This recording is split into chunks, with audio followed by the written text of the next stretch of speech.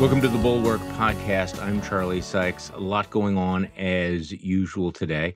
In my newsletter, I, despite all the horrific things that are going on in the world, I thought I would focus on, on at least some extraordinarily positive things, or at least temporarily positive things. The fact that the Ukrainians were able to seize and arrest uh, this fugitive Ukrainian oligarch who is very, very close to Vladimir Putin. Putin is the godfather to his youngest daughter and uh, posted pictures of him. It, it's one of those indications that the Ukrainian special forces are doing things that are pretty impressive. Meanwhile, President Biden is using his words. Unlike other Western leaders and members of the administration, he is willing to accuse Vladimir Putin of committing genocide in Ukraine it is interesting watching some of these folks tie themselves around their own axles. You know, should we call it this? Should we call it that? No, I mean, you know, to his credit, Joe Biden said, look, it's genocide because he is trying to destroy the Ukrainian people. And, you know, the Ukrainian president, Volodymyr Zelensky, had very strong words in response. He called uh, Biden's remark uh, the true words of a true leader. What's interesting, of course, is the top U.S. officials have resisted using that term up until now, you know, even though we've had all this evidence of the brutal torture and the killings and the accusations that Russia has committed war crimes, Meanwhile, we're also getting the story the Pentagon is looking to vastly expand weapons for Ukraine, but as usual, there's lots of confusion about what that means. Does it mean armor? Does it mean helicopters? Yesterday it meant helicopters and armor. Today it meant it means apparently armor, but not necessarily helicopters. We will wait around to find out.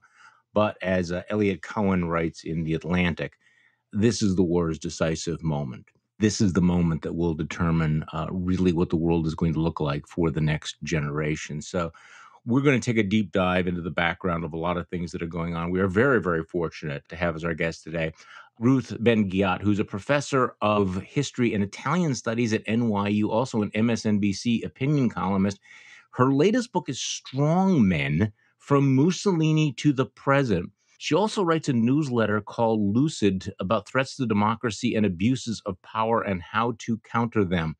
So everything that you've been working on seems amazingly timely today, Ruth. it's incredible, and and this uh, Putin's murderous war on Ukraine, all the conditions under which it's being waged and the backfiring. Um, it's like seeing what I wrote about in my final chapter, which is you know when they fear their powers waning they do reckless things. There's even a term called gambling for resurrection. Mm. and I, it's like all of this is unfolding uh, just as uh, it's it's unfolded before which is why it's in my book. It's extraordinary. Okay that's a scary phrase. So what what is gambling for resurrection? Because you have me nervous already. So I, I truly think that putin had intimations that his power was at its peak. And also, uh, it was no accident that, you know, this comes after this, the summit in June 2021 with Biden, and Biden's clearly going to be very tough on him, uh, unlike Trump. And so he he started, you know, thinking about his place in history and and getting more insecure. And just like Mussolini and Hitler and Gaddafi, when they get into the state where they fear um, that their power is waning or it could in the future and they don't they're maybe not immortal and infallible they do these reckless things. And so it's called gambling for resurrection when you have some grand gesture uh, usually imperialist or something that will secure your place in history. And it's and it was interesting that Putin's giving all these speeches in which he's talking about history, clearly wants some kind of, uh, they all want to be Napoleon, um, and then they forget how Napoleon ended up. So, gambling for resurrection, and usually it fails, it's because they they do these things out of hubris and arrogance and they don't consult with experts just like putin didn't game out the war with his military experts because they think they are the experts so it's a very particular stage I call it late stage autocracy. They've been in power for too long, they've had too much power, and they lose perspective. So, what was Mussolini's uh, gambling for resurrection? There's actually so many parallels. I, I, don't think it will end the same way, but um, one can hope. Yeah, one can hope, exactly. So Mussolini, he invaded Ethiopia and he got away with it and he mm-hmm. was at his peak. But when he went into war on Hitler's side, it was too early and they had tried to stay neutral for a year. But he went into World War II against the advice of all of his generals. And, you know, they weren't ready. Autocrats, they kind of ravage their military out of corruption or overuse. And so when things got bad, he was removed in 1943 by his own mm-hmm. fascist Grand Council. And it's very dramatic. He was removed at night and he came to work the next day because he, he literally couldn't conceive that they would do this to him. and and so I've been watching very carefully uh, what elites are doing. Um, and there are these isolated cases of people who have been with Putin from the very start, like Anatoly uh, Chubais, who was most recently his climate envoy, who resigned and left Russia. So you have, right now, it's just dribbles, but you can have this phenomenon. It happened to Gaddafi at the end, where elites who've been with you for years, they start to separate their destiny from the autocrat because they think he's going down. So let's take a couple of steps back away from these events and, and what Vladimir Putin is doing right now in, in Ukraine. Uh, because you've been writing about strong men, you have been writing about the threats to democracy. We throw around the word fascism a lot. Can you define for me what fascism is? Like, the reason I'm asking this is I'm not sure that people fully understand what fascism is and, and why it's a mistake to just assume that fascism and Nazism are the same thing. I mean, there, there are certain there are certain traits to fascism that I want to I want to explore as we we go ahead. So, and and again, maybe you think this is an unfair question because I've read analysts who said that you really can't define fascism very well because it's not a coherent set of beliefs. So, what is fascism? Mm-hmm. Is, is, fascism an ideology or is it a posture and an attitude? Well, how do you how do you describe it? It is an ideology. It's a political system. It's a phase of authoritarianism. That's how I have it in my book. It's the first phase, along with early communism. It's also a way of life. It what for fascists, it's a way of life, a way of thinking. So there's a reason that there isn't one definition of it, and and that's uh, goes back to the origins where Mussolini didn't really want there to be one definition. He actually wouldn't allow there to be an official definition for like over 10 years. And this is because fascism brings together these very disparate things. And the shock of fascism originally was that it put things together that weren't supposed to go together, such as revolution. So mm-hmm. Mussolini had been a socialist, and even in Nazism, it was originally the National Socialist Workers' Party. But it's imperialist.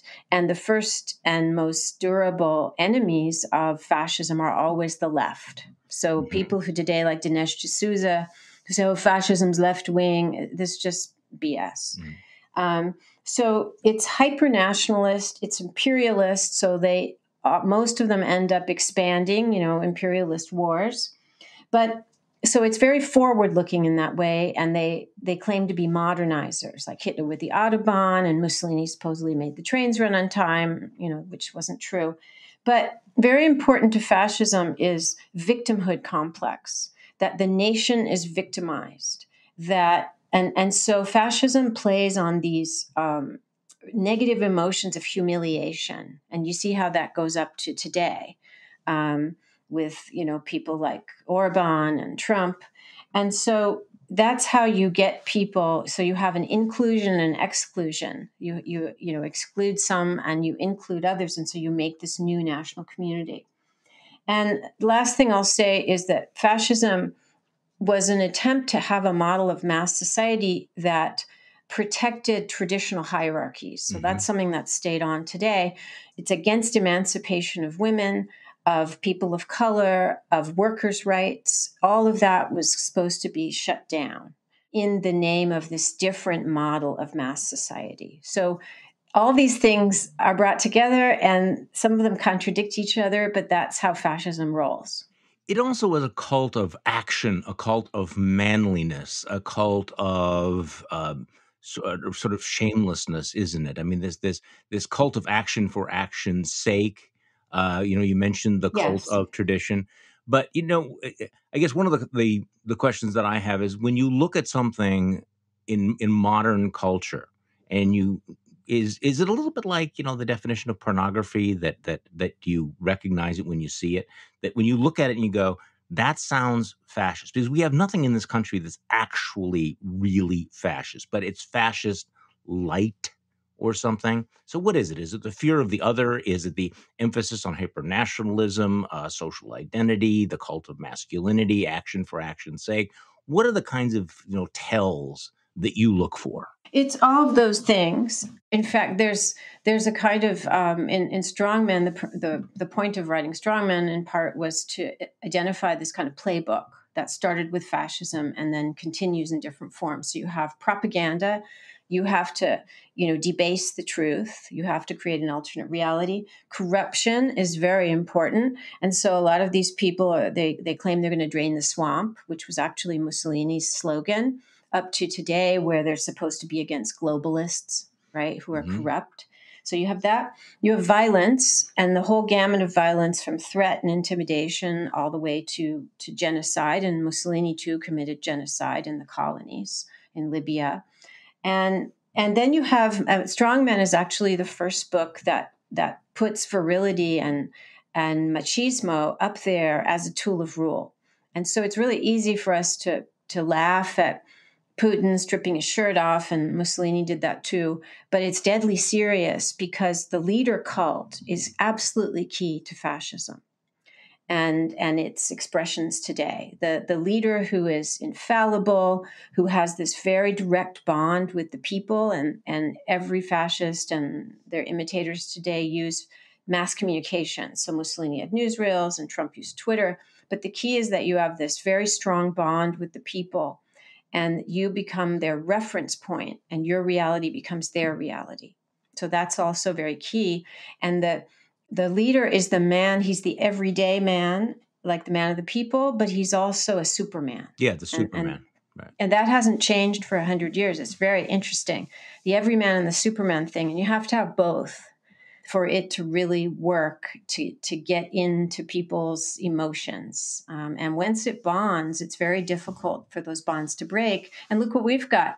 People were like saying to me when Trump, you know, was voted out and his little, you know, coup didn't work. Oh well, his he's going to be gone. And I was like, no, he's mm-hmm. not. He's not going to be gone. because he, you know he's been out of office for a long time but he still has these millions of faithful followers and that's quite typical you know, there's also that that cult of machismo. When when I first started seeing it on you know right wing social media, it almost seems absurd. This emphasis on masculinity, you know, being the manliest man, but that really is central to this whole aesthetic, the aesthetic of fascism, as opposed to the ideology of, of fascism that you have to have the man on the white horse, the strong man who can never admit weakness or failure. Correct? That's correct. And it's like the glue of all of these tools I mentioned because the leader is also the man who gets away with everything. Huh. Who gets away with things that others cannot. And so lawlessness obviously is very important to fascism and also think about under Trump and Putin, who has a kleptocracy, and only he is untouchable. He gets away with everything. And then he spawns all these imitators. So so that's key. And the other way that the leader and his body and the aesthetics of it are key is that um, we've seen that the fascism and, and these strongmen appeal at times when a society has gone through rapid change yeah. or perceived mm-hmm. rapid change. So we were very in 2016 we were very ripe for this and Trump's no fool. He read, you know, he'd been a Democrat, but he scanned the marketplace and he realized there was a place for somebody who would who for people who didn't like the fact that there was eight years of obama there was same-sex marriage and so the purpose is to just shut all of that down but the leader's body becomes an anchor like a kind of stability for followers who feel that everything is unstable and everything is changing in ways they don't like. And so that's why they anchor on to the leader and the leader knows that's his role. And so trump was extremely savvy in in doing that. And I don't know if you remember um, one of millions of episodes when he came out of the hospital uh, which do. really scared his followers, Walter Reed. And he did this very strange thing, but made sense if you know these people.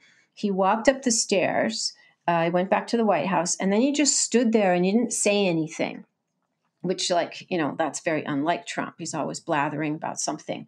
And I thought, oh, that's really smart because his his followers were so worried about him. They needed to just see him, you know, big and massive back in, in on the balcony of the White House and enjoy the sight of him returned. And so he is extremely savvy propagandist and he knows how important those moments are for his followers.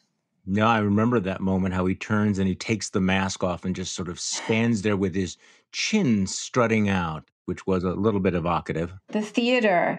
Yeah, he's expert at political theater and strongman theater. He's really, really good at it. I, I, think you've already asked this this question, but I just wanted to just double back on it. So you've described you know the the nature of the strong man and the various qualities that he gets away with everything. Who does this appeal to? I mean, what is the audience for this? Is it the person who feels displaced by change? Is it the person who feels threatened by demographic uh, developments? Who's the audience for fascism? Because we, I think one of the surprising things is not simply what Donald Trump does, but that millions of people look at it and go, yeah, that's what I want. Yeah. What is that? What is that audience? And there's a dialogue because the smartest ones do what they know is needed. And the thing about the strongman is the reasons they're so dangerous and, and so psychologically manipulative is that they say exactly what they know people need to hear. Hmm. And they will be anything you need them to be at that point in time. So Trump was like, oh, you're either forgotten. You've been forgotten by everyone. You've been abused and manipulated, and I will save you. And some version of that has been said by every strongman. Um, and it works like a charm every time, especially in these moments, as we said, where there's been a lot of change that leave people feeling full of hatred or just uncertain. And the other interesting thing about this is, um, even though they are uh, sexist and they often take away women's rights, women are an important constituency for strongmen. And and sometimes it's because for example if you're if, if the ones who are kind of really into you know saving white uh, privilege if you're a woman if you were a woman in nazi germany and you're an aryan you had huge status over non-aryan men hmm. and you were made to feel very important and so their genius is that they appeal not only as sex symbols or as like defenders like you know putin's always saying i'm the defender of russia. But also as people who elevate them. And so uh, you see that women loved Mussolini. There's a whole constitu- constituency of women who love Putin called his babushkas. and it can seem very perverse, but that's just part of it. And so I made, right. you know, I have, I talk about that in my book, and I have a lot of female perpetrators, like torturers, and all kinds of women who felt that they were elevated by this. This is all fascinating. Okay, so Donald Trump is not a student of history. He is not a deep thinker. He's not an intellectual. He's a narcissist who is prone to believe his own conspiracy theories. And yet, and I wanted to bounce this off you, he does seem to have this almost reptilian instinct about what plays in this universe. He instinctually is doing what you describe. So, how do you look at Donald Trump? The fact is that he did see something that other politicians haven't. He is in tune with with with his base in a way that other politicians are not.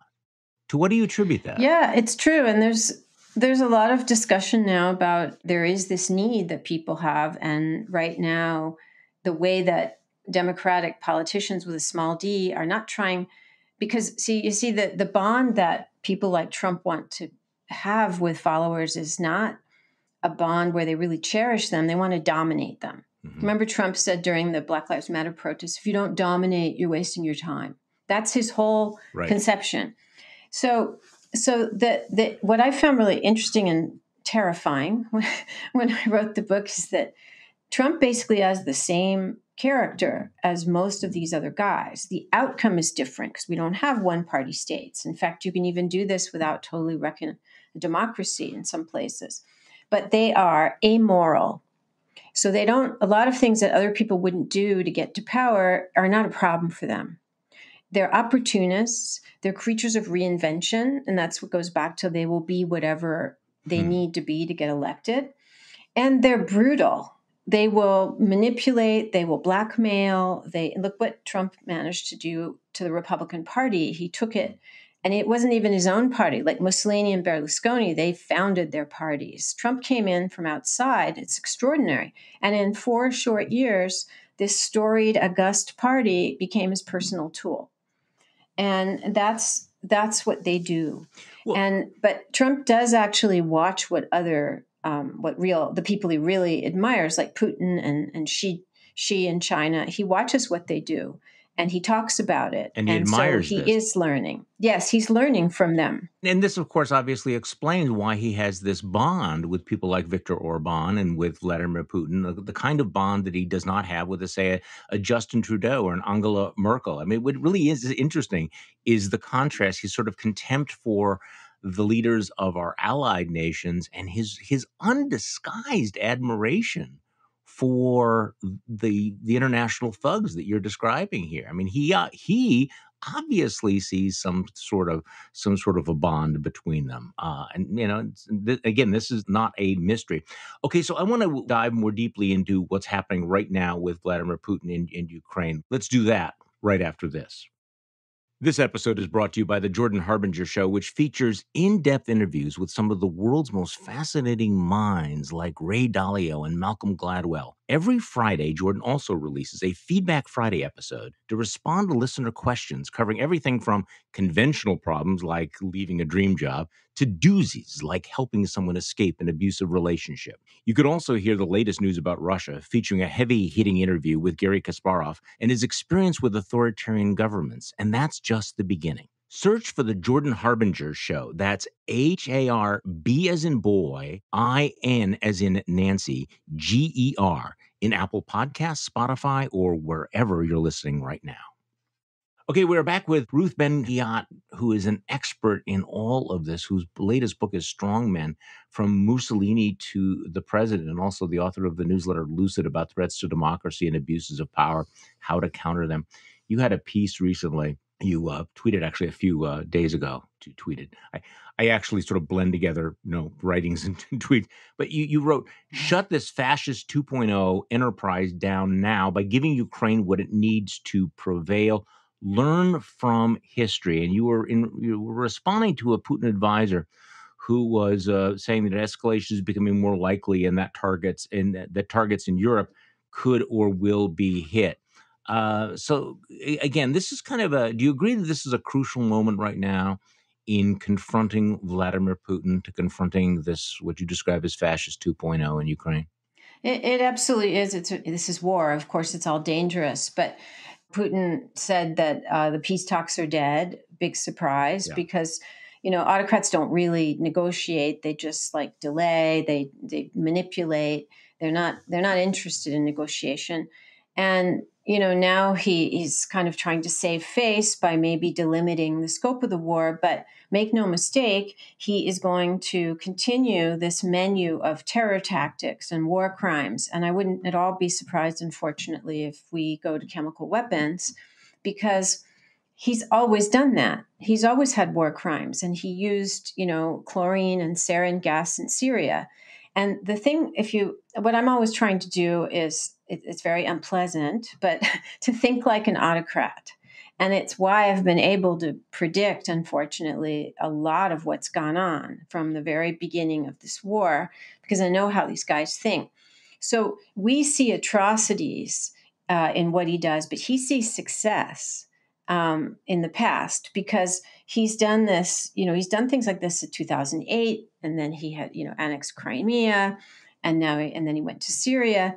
And every time he not only didn't spark a, a huge international reaction like we're seeing now, he was able to consolidate more and more power at home and, and steal more from the Russian people as he has a true kleptocracy. And I believe that every time we mention Putin's name, we've got to mention that he has a kleptocracy because we're seeing the ravages on the Russian military from years of stealing and corruption. That's one reason that the, the equipment is outdated. There's just it's very interesting to see.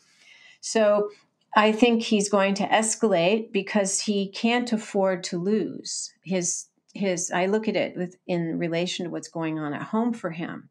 And he's getting into a more and more vulnerable situation. You can only imagine the disaffection of the military at being kind of humiliated on the international stage. We're also facing the possibility of a global food crisis beyond anything that we've seen mm-hmm. since World War II. Ukraine kind of is uh, the world's breadbasket. How does that play into the calculation? Does does does Putin see that as a weapon as well? Uh, global starvation. Yes, he does, and and um, and he himself was very he was very scarred by uh, you know this kind of deprivation in his early childhood because of war, and then also, of course, the the implosion of the Soviet Union and all of the hardship and and mass suicides and everything.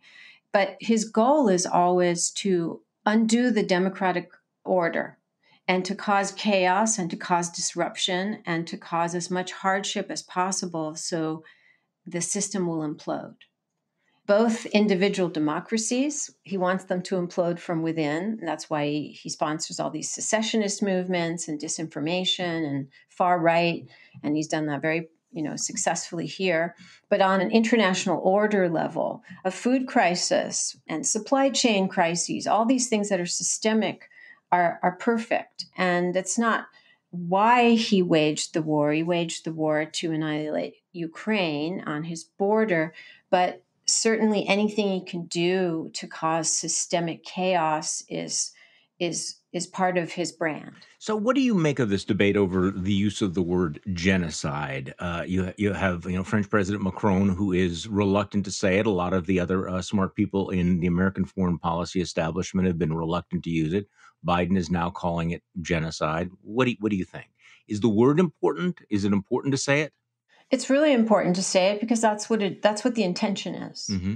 And you don't even have to, you know, we've some some uh, real hardliners have been, you know, releasing kind of their programs for for annihilation and it's absolutely clear that in the intentions of many of them they want to so it's not just a defeat on the battlefield it is what they call de-Ukrainianization, meaning the eclipse of the whole people. Mm-hmm. And again, not just taking over their traditions or their information structure, it's decimating and annihilating the whole people as a people. And and so this is also shared, this goal is shared by like the Putin puppet Lukashenko in Belarus. And he says, he said, you know, before the war started, and I was like, uh oh, this isn't good he said it's time for Ukraine to, you know, come into the Slavic fold. And what that means is that you have to annihilate them as a liberal, democratic, westernized country and kind of this is this is what totalitarians do. You annihilate and then you rebuild.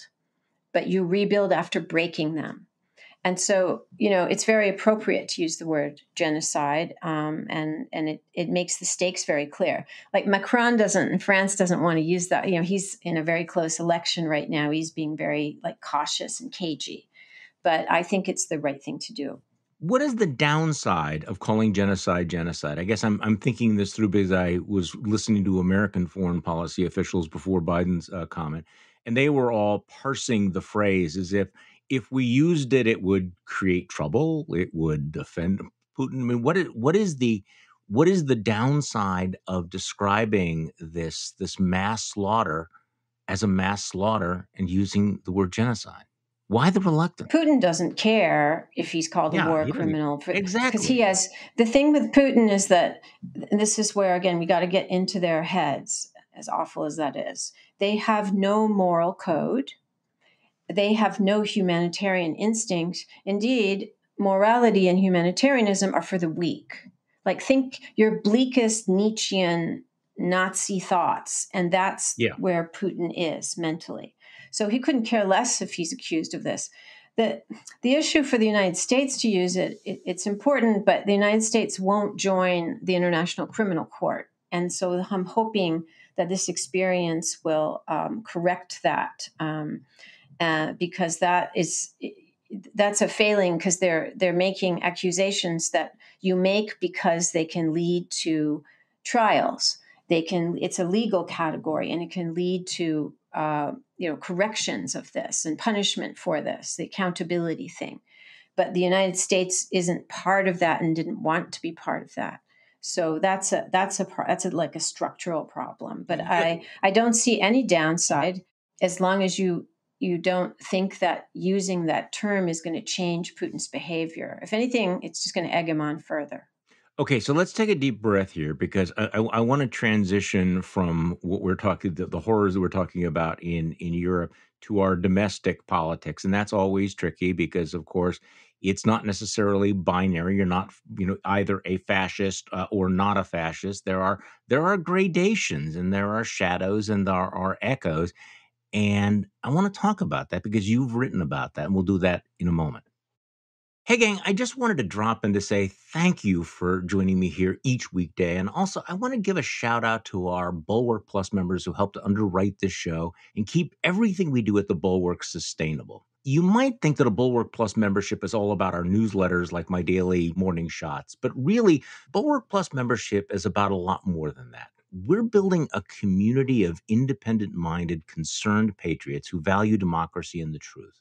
We make most of what we do free and accessible by everybody because you can't help save democracy from behind a paywall. But we do have some great member only benefits that I'd like to share with you. Because in addition to our newsletters, members have commenting privileges and also have access to ad free versions of this show and all of the podcasts in the Bulwark Network, like Sarah Longwell's Focus Group podcast and Mona Charen's show, Beg to Differ. And there's the Thursday Night Bulwark, a live video broadcast that we host for members each week on Zoom. You can give Bulwark Plus membership a try for the next 30 days for free Simply go to the bulwark.com slash Charlie to claim your free trial today. That's thebulwark.com slash Charlie. Thanks. Okay, we are back. Ruth, this is the real danger. I, I think that, that people will roll their eyes if, you know, having had the discussion of actual real fascists who are engaging in genocide, we then shift to and then Republicans in the United States are doing X, Y, and Z because, of course, there's they're not the same thing. So let's describe this. Is is there a continuum of this? I mean, when when we describe when we throw around words like fascist or fascist adjacent or fascist curious or authoritarian, how do you go from Vladimir Putin to Viktor Orban to Ron DeSantis? How do we do that? So, all of democracy and autocracy is a continuum.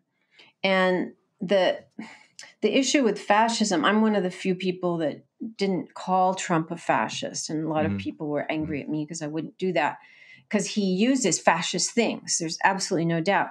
But the point of my book was to say that it's an evolution and that fascism was one stage of, of a whole mm-hmm. history of authoritarianism that works differently today.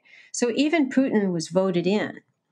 And Orban, you know, he just won mm-hmm. re-election. Mm-hmm. So today in the 21st century, you have few you still have military coups, but they're fewer.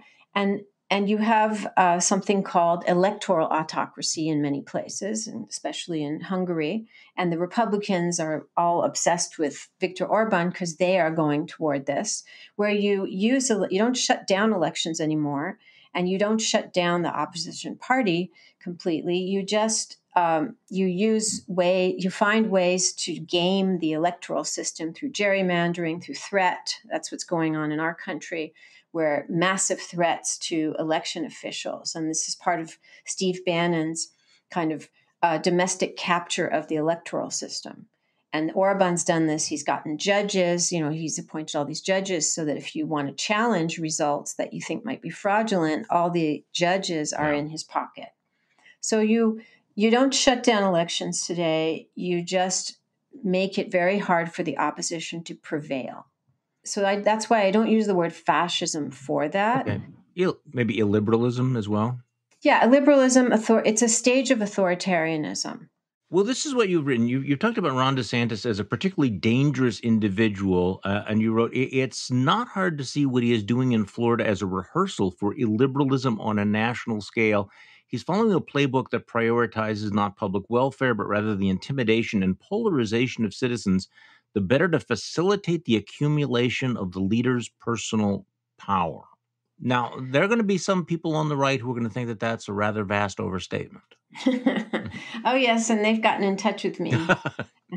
yeah.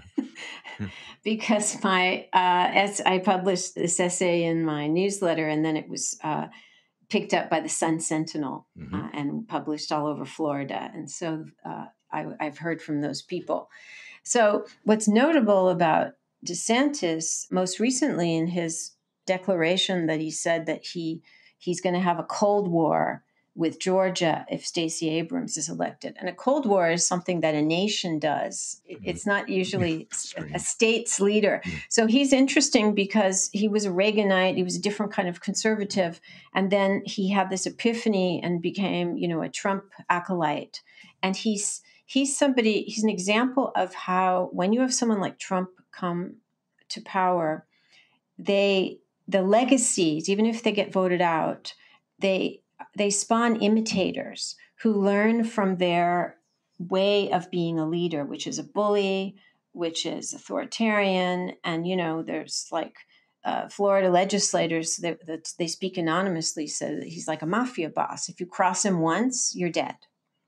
Um, and this is not how Democrats with a small d behave. And he's done all these policy things from the Don't Say Gay bill to his very scary election, you know, security office, which which has a tip line so that you can denounce people who uh, of election fraud and election irregularities, and now he's made those felonies. So he's setting up at at at the with state institutions uh, and and heeding the things that he he's kind of glommed onto, you know, election fraud because he saw saw how well it worked for for Trump to keep his power. So I'm really looking at him as a model of um, leadership that is not at all democratic. See, the thing that makes a lot of this plausible um, is, is, is the love affair between certain elements of the right and Viktor Orban in in Hungary. And I think you mm-hmm. and I mm-hmm. probably share the same view that a lot of people on the right here in, in the United States are are laundering their admiration for Vladimir Putin through Orban. That it's it's maybe a bridge too far right now to say anything nice about uh, Vladimir Putin. But if they cozy up to, uh, if they if they cozy up to uh, Putin's number one ally in Europe, Viktor Orban, apparently they they consider that to be uh, acceptable.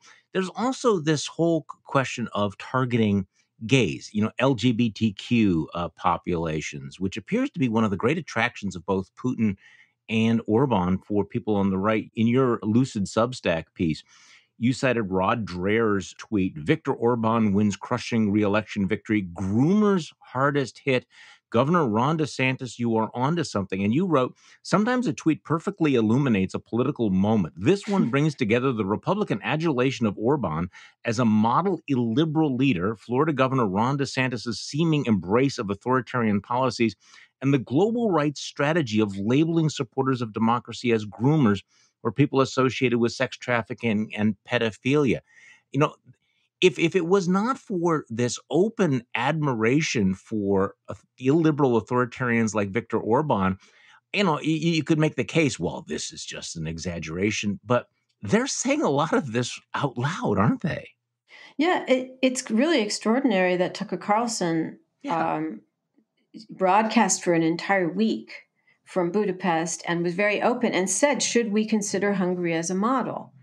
And they're they're they're open about it. And I also found it really disturbing slash interesting that Mike Pence, who isn't the biggest global traveler, you know, trotted off uh, to Viktor Orban's demographic summit yeah. which was all about how we wow. need more, you know, white Christian babies.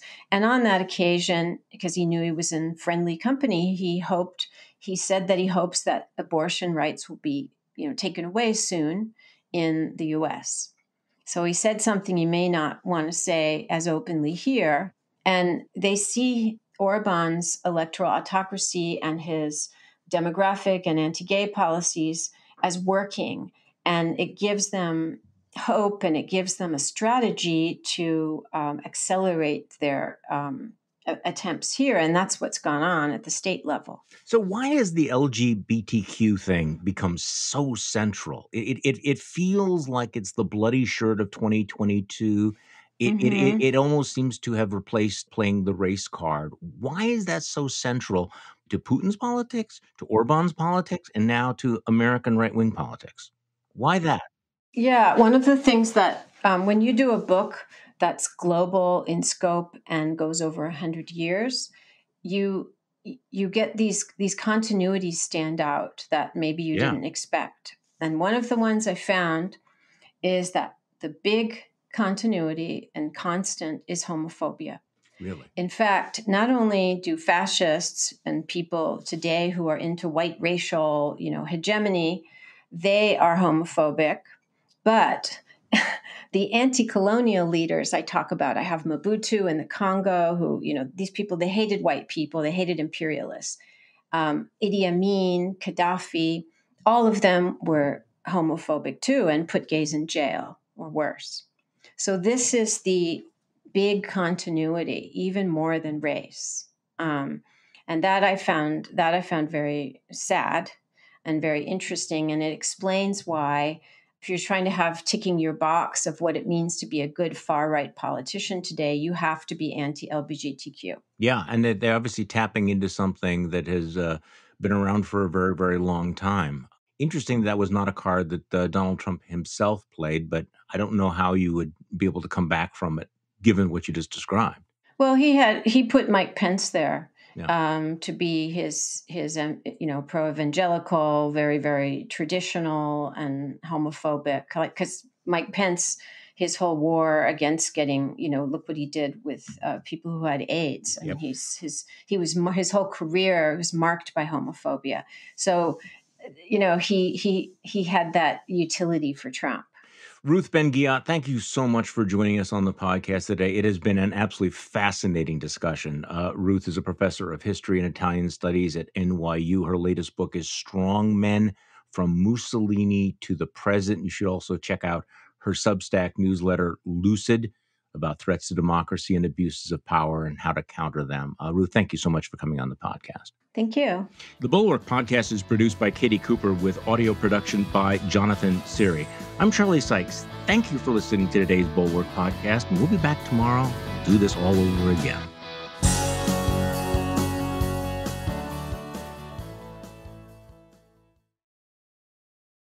Juggling life, a career, and trying to build a little bit of wealth, the Brown Ambition podcast with host Mandy and Tiffany the Budgetnista can help with special guest Chris Browning. You know, I'll give a shout out. I have two coworkers, Mandy, who love your podcast. They found out about me podcasting because of the last time I was on on your podcast. That's Brown Ambition. we outed you. yeah, you did. So spread it out a little bit further. Chances are, if you work in an office with black women, Brown Ambition is somewhere. Brown Ambition. Listen wherever you get your podcasts.